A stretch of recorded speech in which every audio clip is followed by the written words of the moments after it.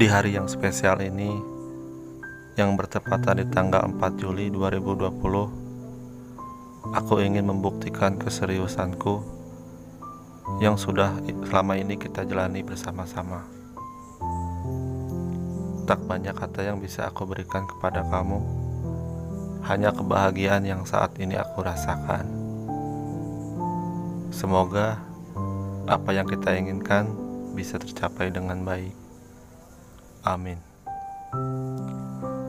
Terima kasih kamu yang selalu membahagiakan aku hingga sampai saat ini. Aku akan selalu mencintai kamu dan menyayangi kamu. Suci.